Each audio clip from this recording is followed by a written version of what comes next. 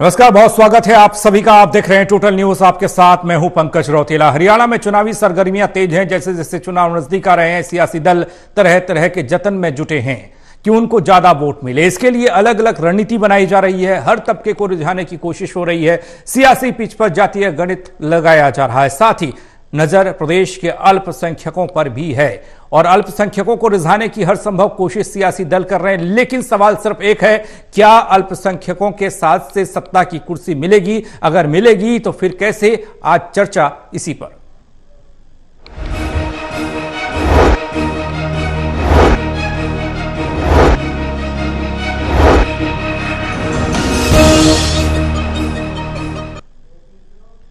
दरअसल, हरियाणा में बीजेपी अल्पसंख्यकों को रिझाने की कोशिश कर रही है। बीजेपी का पानीपत में मुस्लिम सम्मेलन हो रहा है। सम्मेलन में बीजेपी के राष्ट्रीय अल्पसंख्यक मोर्चा के अध्यक्ष भी शामिल हो रहे हैं। हरियाणा के नू यमुनानगर पानीपत जैसे कई जिलों में मुस्लिम मतदाताओं की संख्या ज़्यादा है। आज हमारे साथ चर्चा में जो मौजूद हैं, उनसे आपका तारुफ कराते हैं। Devendra Kathuria ji, associate editor Panipat, doctor Mahesh Kumar, associate editor Hisar, Virendra Soni ji, वरिष्ठ पत्रकार। चर्चा करें, लेकिन उससे पहले खबर। चुनावी तैयारियों और अपनी रणनीति को फुल प्रूफ अमली जामा पहनाने में लगी बीजेपी एक नया प्रयोग कर रही है, जो कामयाब होता लग रहा है। बीजेपी ने सूफी समाज महाअभियान शुरू करके संत और सूफी का मतलब समझाने की कोशिश की है। इस महाअभियान का जिम्मा महाराष्ट्र के नागपुर के रहने वाले जमाल सिद्दीकी को सौंपा गया है, क्योंकि ये प्रयोग यूपी के विधानसभा चुनाव में सफल रहा था। पीएम मोदी के आदेश पर शुरू हुए इस सूफी समाज का पहला कार्यक्रम हरियाणा में पानीपत में हुआ।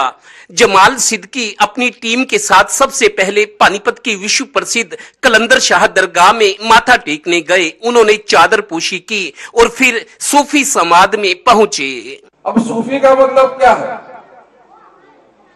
सूफी का मतलब जैसा कमाल भाई ने कहा कि सिर्फ़ दरगाह पे रहने वाले नहीं। सूफी का मतलब यह है कि जो सबसे मोहब्बत करे। जो सबके लिए दुआ करे। जो सबका भला चाहे। और अगर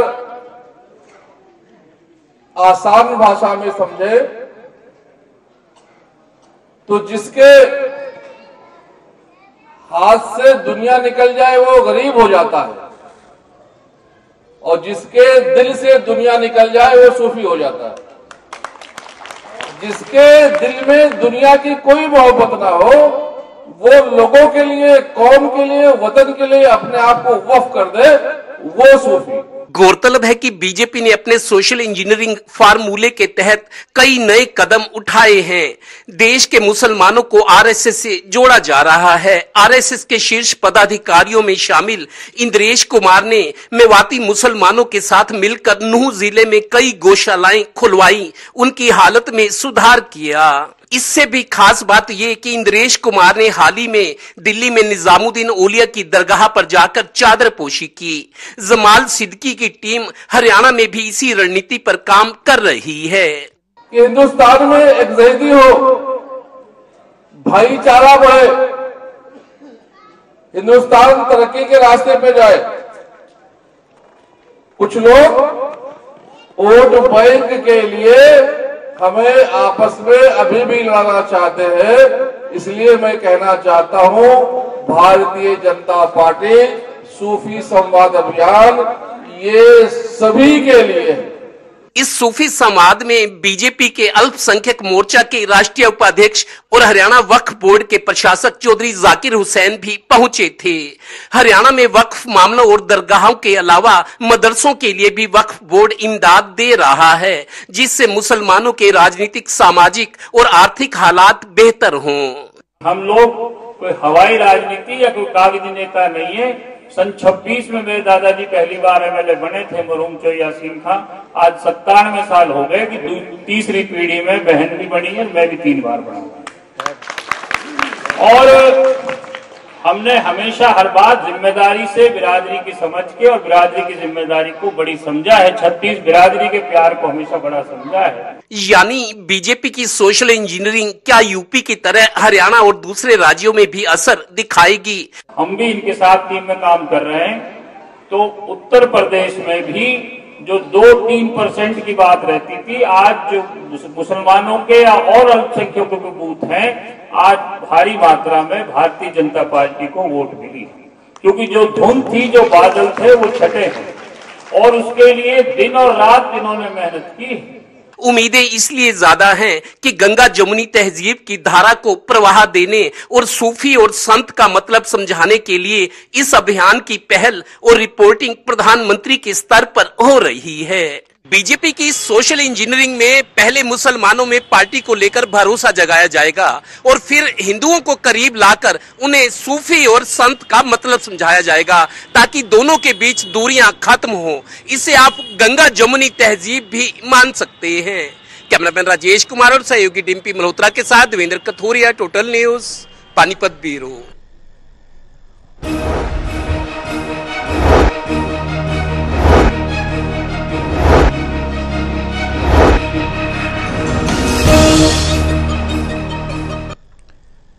तो चुनाव नज़दीक है और चुनाव नज़दीक है तो हर घटनाक्रम पर चर्चा हो रही है और होनी भी चाहिए क्योंकि उसके कई मायने आगे चलकर निकल सकते हैं। हमारे साथ देवेंद्र जुड़े हुए हैं।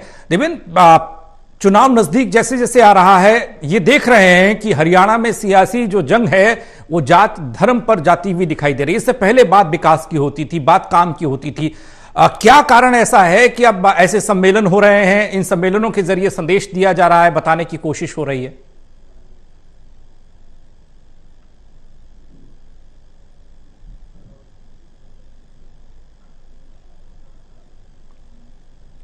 देवेंद्र आप तक आवाज़ पहुँच रही है? नहीं पहुँच रही। डॉक्टर महेश, आप तक आवाज़ पहुँच रही हो? तो यही सवाल आपसे है कि आखिर क्या वजह है चुनाव नज़दीक आते आते ये लड़ाई, ये जंग सियासी तौर पर अब जाति धर्म पर जाती हुई दिखाई दे रही है। अलग अलग सम्मेलनों के ज़रिए वोट बैंक साधने की कोशिश हो रही है।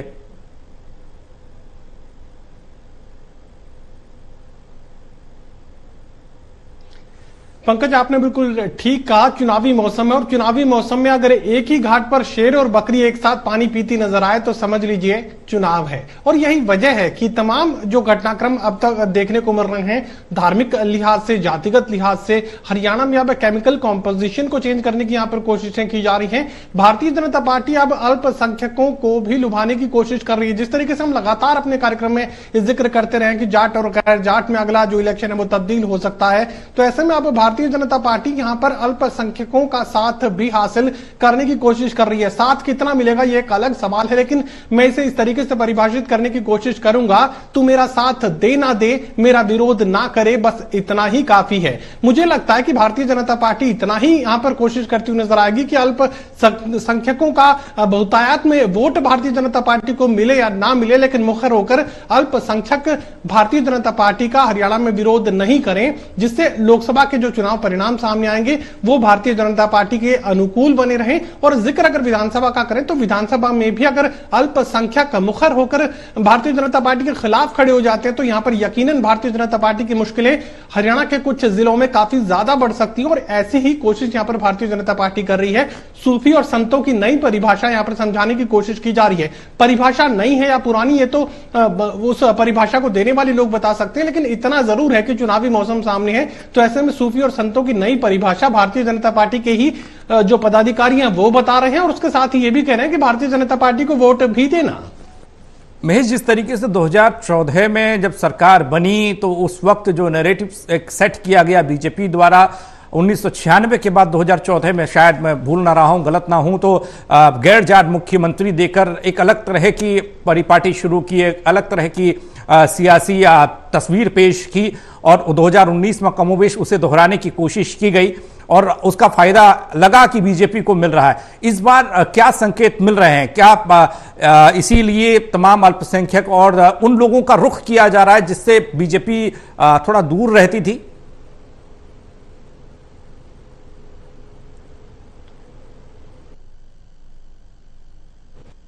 साफ़ तौर से बात कही जा सकती है कि अगला जो इलेक्शन हरियाणा प्रदेश में होने वाला है, वो जाट और गैर जाट की परिभाषा से समझा जा सकता है। हम हम अब तक ये बात नहीं कर रहे थे, लेकिन अब मुखर होकर बात तक क्यों कही जा रही है? दरअसल ओपी धनखड़ को हटाकर नायब सिंह सैनी को जब से पार्टी की कमान दी गई है, उसके बाद ये जो संभावनाएँ और ज़्यादा प्रबल होती हुई नज़र आई है। और आने वाले दिनों में तमाम जिलों में संगठन में फेरबदल, भारतीय जनता पार्टी के जिला स्तर के नेताओं में होना है जिला अध्यक्षों में होना है तो ऐसे में अब जो अगली लिस्ट सामने आएगी भारतीय जनता पार्टी की तरफ़ से, उसमें यह देखना होगा कि भारतीय जनता पार्टी कितने जाट नेताओं को जिला अध्यक्ष की कुर्सी पर बैठाती है, तमाम जो दूसरे पदाधिकारी हैं, क्या उन्हें जाट और गैर जाट की नज़र से भारतीय जनता पार्टी के जो शीर्ष नेतृत्व चाहे नायब सिंह सैनी की बात करें, संगठन के दूसरे नेताओं की बात करें, क्या इस दिशा में इस परिभाषा के साथ इन तमाम नेताओं को देखा जाएगा? ये एक अहम सवाल है, और जिस तरीके से लगातार हम ये ज़िक्र कर रहे थे कि भारतीय जनता पार्टी लगातार सर्वे अपने इक्वेशन को समझने के लिए, अपने हालात को समझने के लिए लगातार करवाती है, और भारतीय जनता पार्टी ये समझ रही थी कि जाट का जो वोट है वो बमुश्किल ही भारतीय जनता पार्टी के खाते में आ रहा है।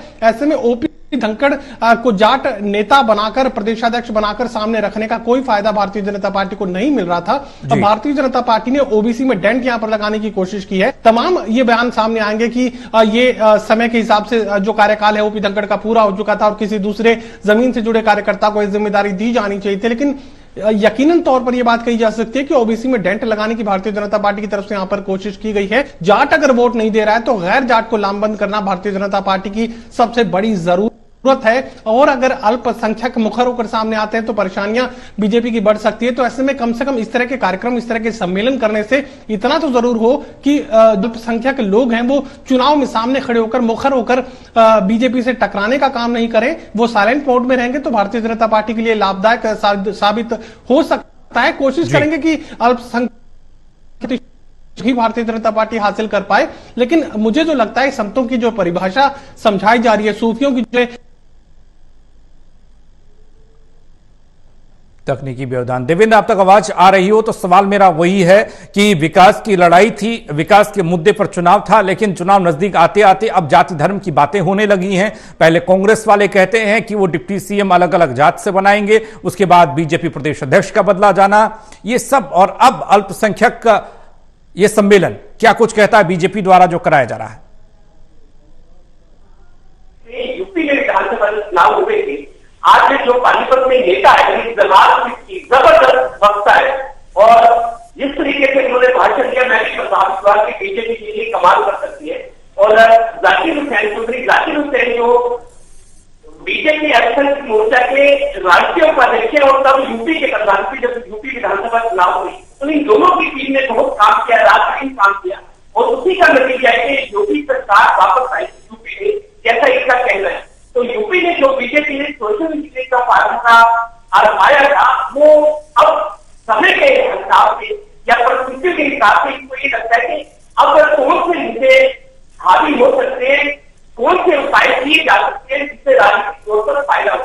सीधी सी बात है, घोषणाएँ करना, विकास करना की पुराने नाम आजकल ज़रूरत होती है कि जाति समीकरण को साधने की, या किस जात के लिए हम हम ये कैसे निकाल सकते हैं कि कोई भी पार्टी कोई भी पार्टी जाति धर्म में भेदभाव की बात को मन से भाग देते हैं हम जाति या धर्म में भेदभाव करने हासिल सब बराबर है। लेकिन यही पार्टियाँ जब टिकटों का बंटवारा करती है जाति और धर्म के आधार पर टिकटों का बंटवारा होता है क्योंकि वो समीकरण होती है। कि आपसे फ़ायदा कैसे हो सकता है? कहने में और करने में बहुत फ़र्क है। यूपी में जो फल अपना सोशल जीने का बीजेपी ने आजमाया दो हज़ार बाईस में वो कामयाब लगा और आज जैसा नेताओं ने कहा बड़े नेता थे की जो ये पूरा सूफी महाअभ्यास ये प्रधानमंत्री के आदेश पर कार्यक्रम शुरू है। और हरियाणा में आज में पहला कार्यक्रम है इसका ये कहना कि हम पूरे देश में जाएँगे सूफी और संत के फ़र्ज़ को समझाएँगे कि सूफी और संत ऐसे होते हैं जो सबका भला चाहते हैं उनका अपना कुछ नहीं होता जी। चलिए आपके पास मैं आऊँगा। वीरेंद्र वीरेंद्र सोनी जी हमारे साथ वरिष्ठ पत्रकार जुड़े हुए हैं। वीरेंद्र जी, आपसे सवाल बड़े फलक पर है। हम देख रहे हैं कि 2024 का आम चुनाव नज़दीक आ रहा है और इससे पहले देश के प्रधानमंत्री नरेंद्र मोदी के कुछ बयान भी सामने आए। अल्पसंख्यकों को लेकर जिस तरीके से उन्होंने पार्टी के तमाम लोगों को संदेश दिया कि किस तरीके से उनके बीच में जाना है। हाल ही में मोहन भागवत के कुछ बयान ऐसे हैं जिसमें उन्होंने कहा कि यह देश सबका है। इस तरह की मतलब जो कड़वाहट वाली बातें थी, उसे नजरअंदाज करने की कोशिश और हरियाणा के फलक पर कैसे देखा जाए? अब बीजेपी ये मुस्लिम सम्मेलन कर क्या करना चाहती है? कितना असर डालेगा? भारतीय जनता पार्टी ने ऐसी राष्ट्रीय स्तर पर इकहत्तर सीटें चिन्हित की हैं जहाँ मुस्लिम आबादी बीस से तीस प्रतिशत है। मतलब ऐसी इकहत्तर सीटों पर भारतीय जनता पार्टी मुस्लिम समाज को अपने साथ जोड़ने के लिए इस तरह का अभियान चला रहे हैं। और एक बात बड़ी स्पष्ट है कि मुस्लिम राष्ट्रीय मंच और भारतीय जनता पार्टी का अल्पसंख्यक मोर्चा दोनों अलग अलग संगठन है। जो मुस्लिम राष्ट्रीय मंच है, वो राष्ट्रीय स्वयंसेवक संघ से जुड़ा हुआ है और भारतीय जनता पार्टी का अपने ढंग से काम कर रहा है। वो भारतीय जनता पार्टी के अनुसार काम कर रहा है। तो मुस्लिम समाज को एक तो भारतीय जनता पार्टी के पक्ष से जोड़ना और राष्ट्रीय हिस्सों के साथ जोड़ना, ये जो है, अपना एक अलग ढंग का एक लक्ष्य है। जिनको इस लक्ष्य को जो है पाने के लिए इस लक्ष्य को जो है पाने के लिए भारतीय जनता पार्टी का अल्पसंख्यक मोर्चा अपने ढंग से जो आबादी वाला किस्सा है मेवात है। मेवात की तीन सीटें हैं और तीन सीटों पर भारतीय जनता पार्टी कभी भी चुनाव नहीं जीती है। और हालाँकि पिछली बार जो है इंडियन नेशनल लोकदल या दूसरे दलों के लोग लोगों को टिकट दिया गया था जो भारतीय जनता पार्टी में शामिल हो गए थे लेकिन तब भी भारतीय जनता पार्टी हो गए थे। यहाँ पर मुस्लिम मतदाता काफ़ी संख्या में तो पार्टी उनको अपने ढंग से जोड़ने के लिए तरह तरह के अभियान चलाती रहती है। और इसमें हम देखा जाए कि हमारा पानीपत में लगता समालका विधानसभा क्षेत्र है वहाँ पर मुझे माहौल है और जो पहली बार जो है निर्दलीय वहाँ से चुनाव जीता था दो हज़ार चौदह निर्दलीय वहाँ से चुनाव जीता था। तो वहाँ पर भी मुस्लिम जो मतदाता संख्या में कहे तो पार्टी अब जो वहाँ छब्बीस नवंबर को रैली करने जा रही है रैली के संयोजक जो है जो संजय छोकर कांग्रेस में थे वो में शामिल हुए हैं तो उनको एक संयोजक बनाया गया तो इस तरह की पार्टी अपने अपने सहती है। जहाँ तक सोशल इंजीनियरिंग की बात है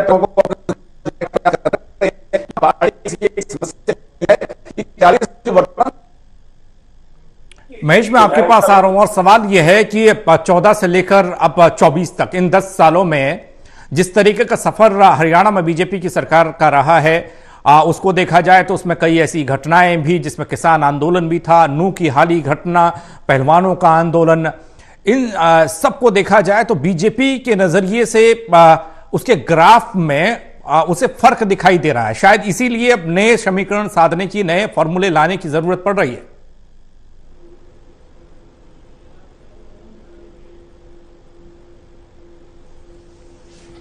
देखिए पंकज, एक और महत्वपूर्ण घटना जो मनोहर वन में हुई थी, दरअसल जाट आरक्षण की हिंसा भी मनोहर वन सरकार में हुई थी, जिसके बाद से अब जो उसका सेकंड वर्जन अगर ज़िक्र करने की कोशिश करें तो सरकार के खिलाफ जो सबसे बड़ा आक्रोश देखने को मिला था, वो किसान आंदोलन के दौरान देखने को मिला था। काफ़ी सारी घटनाएँ ऐसी हुई जिससे सरकार को यहाँ पर डेंट झेलना पड़ा है और भारतीय जनता पार्टी दरअसल लगातार मैं एक ज़िक्र यहाँ पर हर रोज करता हूँ कि भारतीय जनता पार्टी और कांग्रेस में दरअसल मूल अंतर क्या है। भारतीय जनता पार्टी किसी भी समस्या के, किसी भी संकट के आने से पहले ही उसका कैलकुलेशन करती है, उसका आकलन का इलाज करती है, निदान करती है, लेकिन कांग्रेस पार्टी डेड बॉडी का पोस्टमार्टम तक नहीं करवाती और पोस्टमार्टम हो तो उसकी रिपोर्ट की समीक्षा नहीं करती। यहाँ पर भारतीय जनता पार्टी हालात को समझकर समय रहते परिस्थितियों में परिवर्तन करने की कोशिश यहाँ पर कर रही है। जिस तरीके से मैं लगातार ज़िक्र कर रहा था कि ओपी धनखड़ को हटाकर नायब सिंह सैनी को ओबीसी में एक बड़ी जाति है, सैनी जाति और सैनी जाति को सरकार के साथ जोड़ने की कोशिश यहाँ पर है। दरअसल किसी भी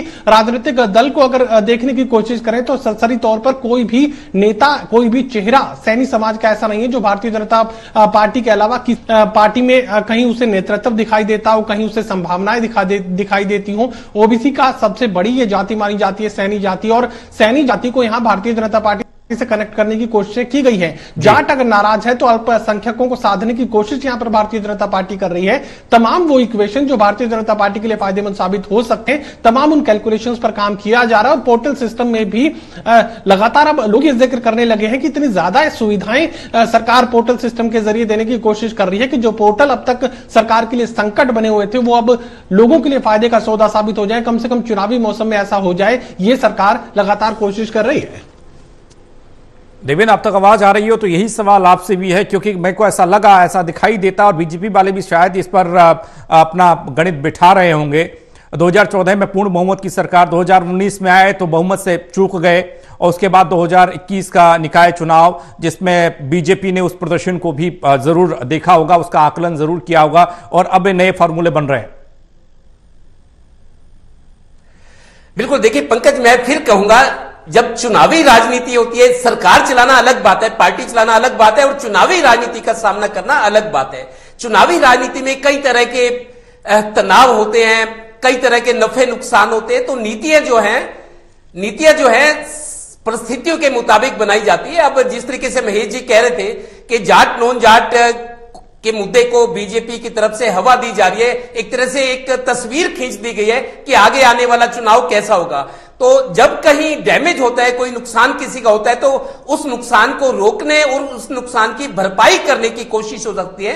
वो कैसे हो सकती है? उस रणनीति पर काम किया जाता है। इस मामले में बीजेपी सबसे आगे है। चाहे प्लानिंग की बात हो एग्जीक्यूशन की बात हो मॉनिटरिंग की बात हो और मैनेजमेंट की। बीजेपी की सभी तरह की तैयारियाँ लाजवाब है और कहीं चूक की गुंजाइश भी नहीं रहती। इस मामले में जब से बीजेपी 2014 में केंद्र में आई 2014 में ये हरियाणा में आई दूसरी पारी खेली जा रही है और तीसरी पारी का इंतज़ार है। तो बीजेपी सभी तरह की तैयारियों में पूरी तरह से मुकम्मल है और दूसरों से एडवांस चल रही है। तो अब जिस तरह के हालात बने हुए हैं कि अगर जाट वोट बैंक का डेंट पड़ता है और मैं आपको पंकज एक बात यह भी बताता हूँ 2014 और 2019 के चुनाव में केंद्र में मोदी सरकार बनी थी, उत्तर भारत के जो राज्य थे, राजस्थान था, मध्य प्रदेश था, बिहार था, यूपी था, हरियाणा था इवन दिल्ली, जहाँ केजरीवाल मुख्यमंत्री रहे थे, वहाँ सारी की सारी सीटें बीजेपी को गई थी। तो उत्तर भारत में बीजेपी को लगता है कहीं ना कहीं नुकसान होने का अंदेशा नज़र आ रहा है, और साउथ में कोशिशें की जा रही है, लेकिन वहाँ कुछ ज़्यादा है नहीं।